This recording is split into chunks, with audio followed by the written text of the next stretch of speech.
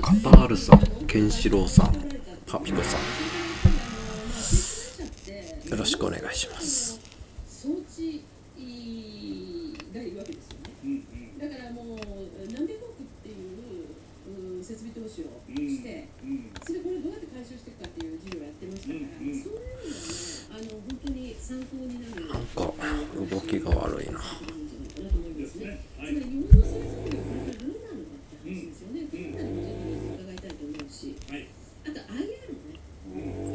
と形厳しいけど、ドラは2つあるから、なんとかしたい。気持ちはなんとかしたいけど、形は厳しい。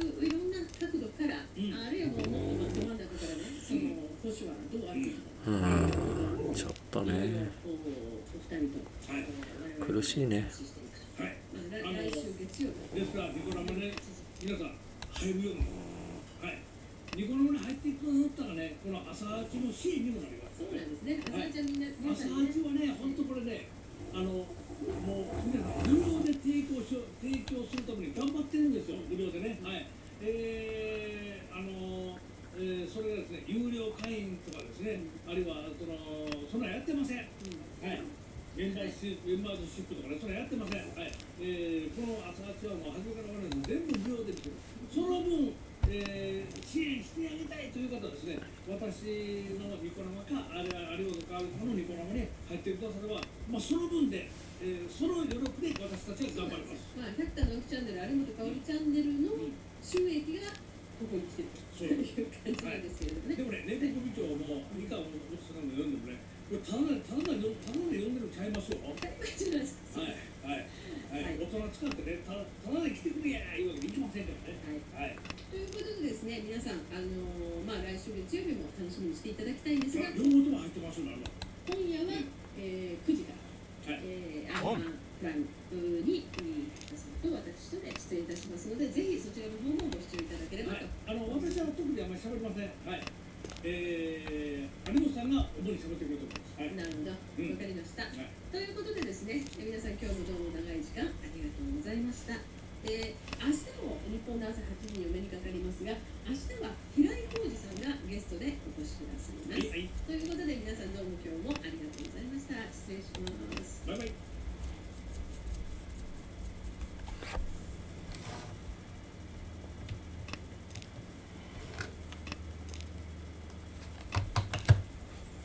うーん。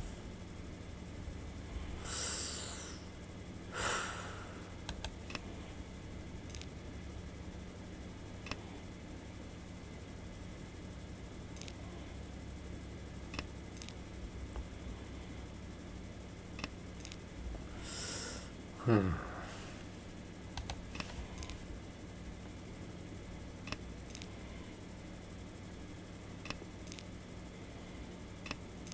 さんこんにちは。前回の動画でミシェルの子供の時代から大学時代までの話を紹介しました今回の動画でその続きを皆さんに紹介します。まだ動画の前半を見ていない方はぜひ前半からご覧ください。よろしくお願いします。ミシェルはさすがに仲間か。第三世界センターの運営責任者の秘書を務めたと語っており卒業アルバムにはアフタースクールプログラムをコーディネーターと記載してますが実際彼女がやってるのは運営責任者の子供のベビーシッターです。ベビーシッターのことをアフタースクールプログラムコーディネーターと言い換えることで印象をよくすこのような表現スキルは若い頃から優れています。1983年ミシェルは第三世界センターの運営委員会の一人に選ばれました。この時期第三世界センターのメンバーがかなり急進的な政治思想を掲げるようになり彼らが主催するイベントにはアメリカ共産党に所属するマルクス主義フェミニストなどをゲストに呼んだプリンスン大学を卒業後にはハーバードロースクールへ進学しましたロースクールを卒業した後法律事務所に就職し学生インターンとして事務所で働いてたバラク・オバマと出会いましたオバマは黒人の血が入ってるものの白人の環境で育ちました。もともと白人的なものが好きなミシェルと黒人として政界へ進出する野望を持っていたオバマはお互いが求めているものを補完し合うカップルになったのです。この法律事務所ではもう一つの運命的な出会いがありました。2年間一緒に仕事をし後にミシェルの親友およびメンタとなるバナリン・ドンとの出会いですバナリン・ドンはシカゴ大学のロースクール出身ですがロースクール在学中に極左学生組織のリーダーとなり私は自分を革命的共産主義者だと思いますと明言した人物で1969年には麻薬所持で逮捕起訴されています。バナリン・ドンのビル・エアーズは FBI にテロリストと指定された極左過激マルクス主義組織ウェザー・アンダーグラウンドのリーダーでした。ウェザー・アンダーグラウンドはアメリカ国会の議事堂国防総省ニューヨークのいくつかの警察署で爆破事件を起こした極左テロ集団です。過去アメリカの共産主義を皆さんに紹介したことでこの組織のことを何回か話をしたことがありますので覚えてる方もいらっしゃると思います。バナディン・ドンビル・エアーズはウェザー・アン。ダーグラウンドのリーダーとして1970年アメリカ政府に対して正式に宣戦布告を宣言しテロリストとして指名手配されました。2人は約10年間潜伏生活を続けた結果厳しい。自分たちの子供の将来が心配し1980年に自首しました。バナディン・ドンは多重暴行と保釈中の失踪の軽犯罪で有罪になり保護監督処分となりました。そしてそれから4年後の1984年からこの法律事務所で働きました、まあ、ミシェルの親友の経歴も驚きですけどこのような犯罪歴があっても弁護士として仕事をすることができてしまうこともかなり驚きです。さらにバナディン・ドーンは1991年からノースウェイスタンこれどうすんのチューン。非常勤教授として働き始め2013年までこのロースクールで学生たちを教えています90年代にはバラクとミシェルは週に一度はバナディン・ドーンとビル・エアーズの家に行ってどうすんのこれ？子供たち同士もとても仲が良いそうです。数案1枚しかない恐怖を作り出し育てることが帝国や世界を統治するための最も重要な柱の一つだと主張した人物です。オバマやミシェルは彼女の教えを忠実に実行していると思われています。ミシェルは恐怖という言葉を頻繁に使います。オバマ政権以降の民主党政権は人種問題や治安の悪化司法や医療の国家などを利用して恐怖を生み出し育て人々をコントロールしようとすることにもつながるかもしれません。にオバマが政治家になる前の弁護士時代に書いたとされる自伝がありますが、サブローのあるインタビューで、あの本は自分が書いたと、オバマ自身が書いたものではないことを告白しています。この極左テロリストたちがオバマ夫婦と非常に近い関係にあり、思想的にも大きな影響を与えたことが想像できます。この法律事務所に勤めてた頃、ミシェルの父親が亡くなりました。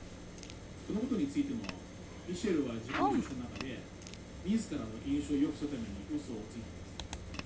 彼女は以下に読み書いています。入院している父のそばに寄り添い、父が眠りについた後に車で自宅へ戻った。そして、父はその日の夜に息を引き取った。しかし、死亡証明書によるドラ1彼女の父は午後3時45分に亡くなっています実際には父親の死亡を知らされた時ミシェルは法律事務所のオフィスで仕事をしていました彼女は何でも美談にしなければ気が済まないようです法律事務所を辞めた後ミシェルはシカゴ市役所で働き始めました当時のシカゴ市長は彼女の父親がテラスとなって働いてたリチャード・デイリーの息子間に合うか。ジュニアでしたこの秘書も彼女の父親と同じような汚職まみれの秘書でシカゴの歴史に大きな汚点を残した人物ですが1989年から20年以上シカゴ市長を務めました。彼の家族や親しい友人はシカゴ市のさまざまなプロジェクトを利用して法外な金銭的利益を得てましたそしてシカゴ市はこの頃から巨額の財政赤字を計上するようになってしまいました当時彼のオフィスは雇用している有色人種の数が少ないということで起訴されてしまいましたその事情があったせいかもともと雑草で強いな。彼女はこの秘書の下で働くことになりました。翌年ミシェルは都市計画部に配属されそこで副本部長という肩書きを得ました。当時この部署が推進してた再開発と称するプロジェクトは黒人の貧困層が多く住んでた公営住宅を取り壊し街を整備し直すというものです。この公営住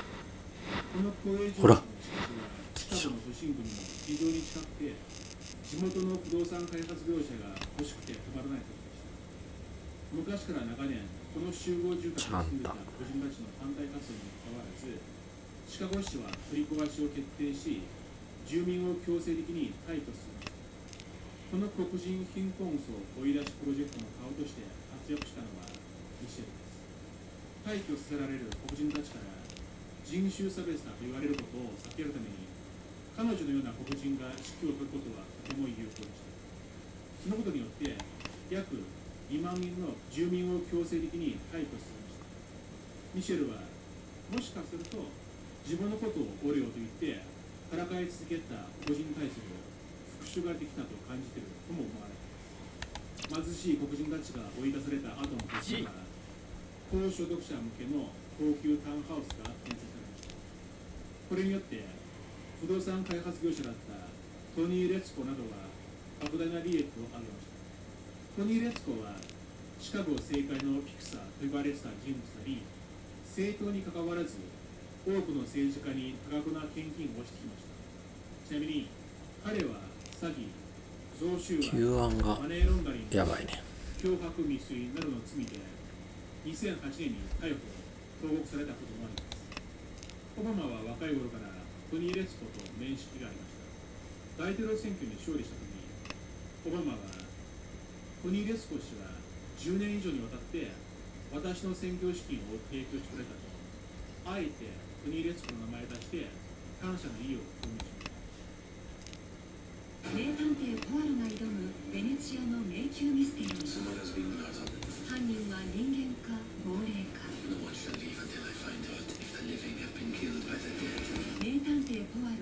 チアの亡霊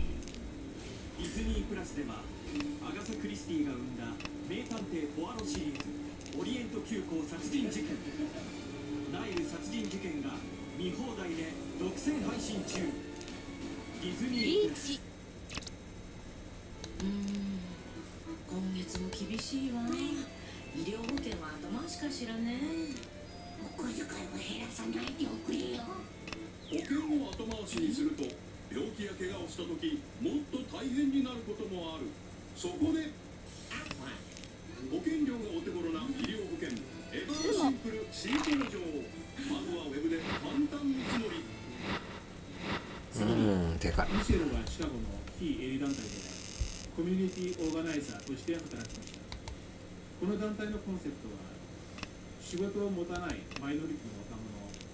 特に高校を中退したり刑務所から出所した若者を集めて職業訓練を受けさせ雇用の機会を与えるというものでした。このプログラムに参加した若者は政府機関で10ヶ月間無給で働きながら仕事を学び10ヶ月の見習い期間が終わった後に政府機関で正式に雇用されるチャンスを与えるというものです。このように聞くととても素晴らしい社会貢献プログラムに思いますが当時の目的は別のところにあったかもしれませんこのプログラムは週に1日ほど社会正義を学ぶ日が組み込まれています。そしてこのプログラムのためにミシェルが最初に読んだゲストスピーカーはなんとバナーディン・トーンですつまりこの組織の真の目的は社会に不満を持っている若者にマルクス主義思想を植え付けさまざまな政府機関に送り込み将来の政策をコントロールすることだったかもしれません。おそらくこのような取り組みはシカゴだけではなくてアメリカ全土特に民主党が牛耳っている州や都市で行われてた可能性があります。オバマは大統領在任中のスピーチで変化はトップダウンではなくてボトムアップで持たされると発言したことがあります。またこのチャンネルで以前紹介した共産主義になぜ魅力があるのかという日本語字幕動画でジョーダン・ピーターソン教授が話した内容とも合致します。ピーターソン教授は以下のように言ってました。マルクス主義者たちはあらゆる政治組織の中間官僚ポストを乗っ取ってしかも教育委員会のような小さな組織の方から支配力を実行できる。その後ミシェルはシカゴ大学の医療センターで働きそこでも彼女が嫌う黒人に対する復讐を行ったと言われています。貧困層の黒人の患者の多くは民間の保険に加入していません。そのため高額な医療を提供することができないケー。スが多くて病院側から見ると金にならない迷惑な患者というわけですここでミシェルに任された仕事は儲けにならない黒人の患者を拒否する仕組みを作ることですそこで貧困層の個人患者が来たら民間の保険に加入している患者であれば絶対に行かないような設備やサービスの質が著しく劣るクリニックに押し付けることができますミシェルはこのたらい回しを仕事のクリニックの原型とポジティブに理解して推進そのような患者が病院に来てしまった時には病院側が車を用意して別のクリニックに送迎していますまあ手は悪くない別のクリニックに押し付ける行為は違法ですが弁護士資格を持つミシェルはこの違法なプロジェクトを見事に成功させて病院に大きな利益をもたらします。また2004年の選挙で連邦上院議員に当選したバラク・オバマはシカゴ大学病院に約30万ドル日本円では4000万以上の特別会計予算を割り当てました。するとその直後に偶然にもミシェルはシカゴ大学病院の社外担当副部長という名ばかりの役職に就任し偶然にも彼女に年間約30万ドルの報酬が支払われることになりました。ちなみに2008年の大統領選挙でオバマが勝利した時にはオバマが上院議員を辞めることになったため病院側はミシェルを必要とするふりをしつける必要がなくなりこの名ばかりの役職も廃止されましたまあそもそも最初から必要のない役職だったわけです。ミシェルの発言や振る舞いは嘘で塗り固められています。2008年に大統領候補の妻として聴取の前に登場した時明らかに彼女は黒人を信じていましたわざと質素な服を着て髪型も黒人のステレオタイプに必死に寄せてきましたミシェルが洗練されたファッションセンスを持っていることを知ってる人たちには非常にわざとらしい印象を与えたに違いありませんむしろ黒人を侮辱し見下していると感じている黒人有権者も多かったはずですしかも自分がハーバードロースクール出身のエリートあリャンソーどこ行ったとこ固まっとんねどっかあ出てきたなどと庶民的なアピールが鼻につき彼女が実際に学生ローンを取れたのは2005年の41歳の時だったとされてますがそれが事実だったとしてもずっと彼女が高収入者としてあった肝臓は問い落とされた。どういうこと？またミシェルは黒人の聴取に向けて話をするときは使い慣れていない都市部の黒人特有のアクセントを使います。英語を使う人から見れば大げさでわざとらしく聞こえます。私も皆さんと同じ黒人です。というアピールをしたい気持ちがわかりますがとてもぎこちない感じがします。東京の人が覚えたばかりの関西弁で無理やり関西弁で話そうとしているのは痛々しさに近いかもしれません。そして彼女がそのような黒人アクセントを使うのは黒人の聴衆に向かって話すときだけです。テレビなどに出演しているときは普通に白人エリートたちと同じようなアクセントで話すことがへえあきついな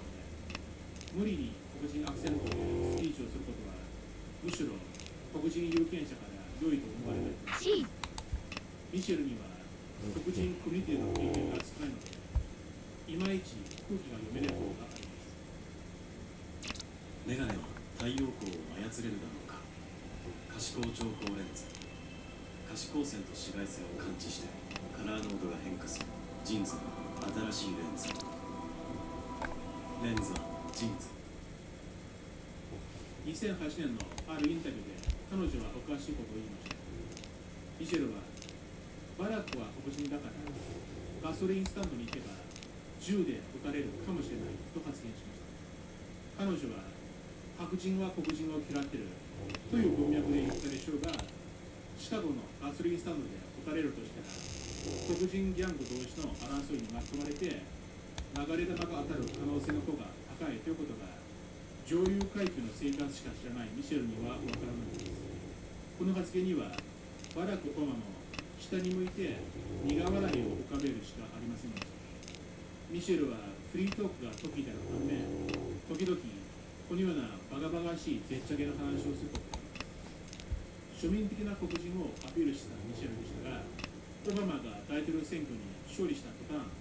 急に本来のおしゃれミシェルに戻りましたしかし、ミシェルはある意味、バラク・オバマよりも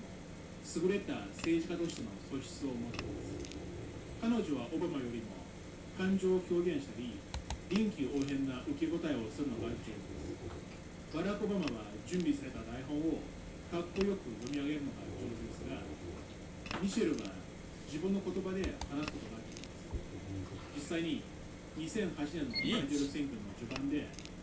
バラク・オバマよりも多くの観客を引きつけた。彼女は単独でも流説を行いまるで大統領候補のように大勢の群衆の前でスピーチを行った。しかし彼女のこの国には希望がないというような反アメリカ的なメッセージが目立つようになり各方面から出しゃばりすぎたと批判されるようになりオバマが予備選挙で勝利した時には生まれて初めて自分の国を誇りに思うと発言しでは今までアメリカを誇りに思ったことはなかったのかと多くのアメリカ人が不快感を持ちました。そのため今まで通りミシェルが自由に政治的発言を繰り返すことは大統領選挙に不利になると考えたオバマ陣営は方針を転換しました、私は政治に興味がない普通の母親になりたいと言い始め自由にしゃべることをやめてスピーチライターの台本通りのことを言うけえな政治的な野心を表に出せなくなったミシェルはそれ以降は雑誌やトークショーなどに出るタレント活動に専念しましたしかし彼女は政治的な野心を隠してるだけで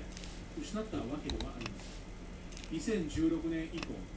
ミシェルは自分の夫が大統領になるために行ったことを踏襲しています。バラク・オバマは大統領に就任する前にシカゴでプロジェクト・ローズという有権者登録組織を運営しました。ミシェルはソロスから2600万ドルの資金供給を受けて新たな有権者登録組織を始めました。バラク・オバマは2004年の大統領選挙の前の民主党大会でジョン・ケリーを応援するキーノートスピーチをしました。ミシェルは2020年の大統領選挙の前の民主党大会でジョー・バイデンを応援するキーノートスピーチをしました。バラク・オバマは大統領に立候補する前に2冊の辞典を出版しました。ミシェルも同じように辞典を出版しましたしかも彼女は2008年から15年間にわたって何百もの雑誌の表紙に飾り多くのトークショーに出演しメディアは常にポジティブな宣伝を行っていました彼女は自伝の発売に合わせて全米30カ所以上でツアーも行いました来年の大統領選挙でも民主党は組織的な不正を行うことは間違いありませんただジョー・バイデンはあんまりにも人気がないですしたくさんの国民が2020年の選挙の正当性を疑っている状況なので再びバイデンが勝ったと言ってももう誰も信じないです。でけってもう疑う国民が増えるだけですしかしミシェルが勝ったといえば多くの人が彼女は人気者だから本当に勝ったかもしれないと考えです来年の選挙までの期間を考えてミシェル・オバマ2024のギルバート監督はジョー・バイデンの大統領選挙撤退表明とミシェルの立候補表明は11月に行われると予想しているのですもし彼女が出馬するならどのような選挙対策をしてどう国民の信頼を集めてくるのか引き続き状況を観察して皆さんに紹介していきます。かなり長くなりましたがミシェルの話はここまでになりますもしこの話が良かったと考えている人はぜひいいねボタンを押して拡散していただければありがたいです。これからもこのような話をしていきますのでご関心がある方はぜひ一数ピンが苦しくなってます。またこのチャンネルを応援していただける方はぜひメンバーシップもご検討ください。ではまた次回お会いしましょう。アラノタイムズがお届けしました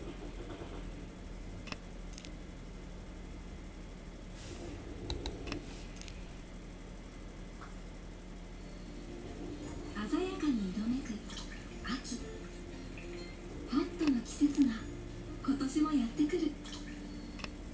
365日をスペシャルで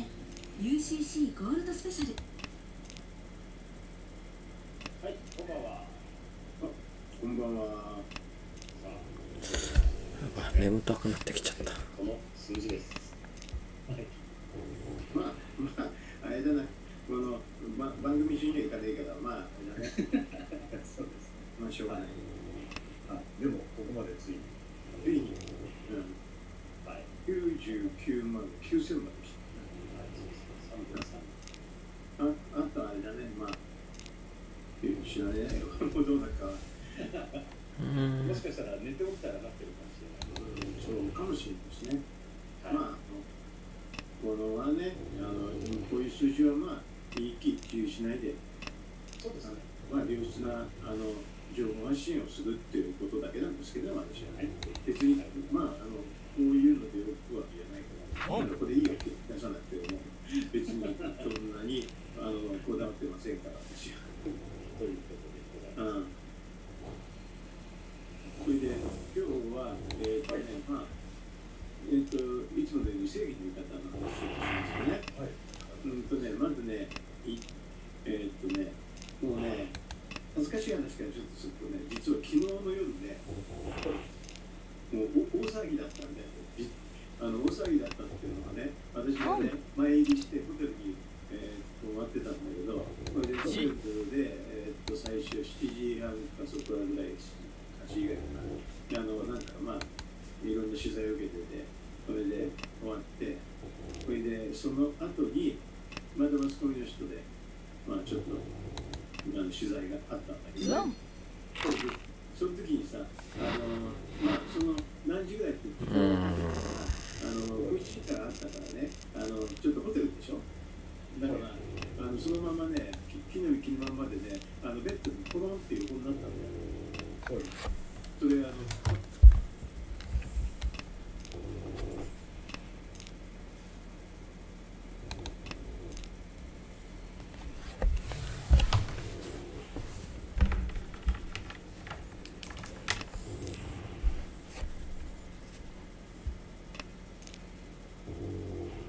中のその招待状はですね、全部うー事務局長が本名を考えてですね、えーこれですね、えーこれ封筒、はい、えーこれね、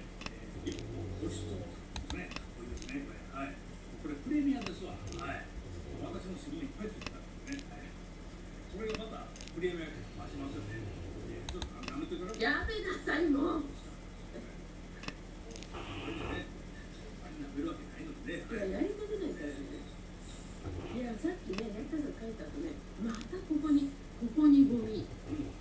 ここにゴミでここにゴミうん、あそこに空きゴミうん、ここそのすぐ下にねゴミ箱あるじゃないですかなんでゴミ箱に入れるのあそれ、謎やねだって何のためにハッカさんの足元にゴミ箱を置いてるのそれたまたまや。リーチはい。はい。えー、なんやかんや言うてね、えー、久々のライブ、3日目のライブが、ライブがね、こんなライブ。はい。育てるの大変そう。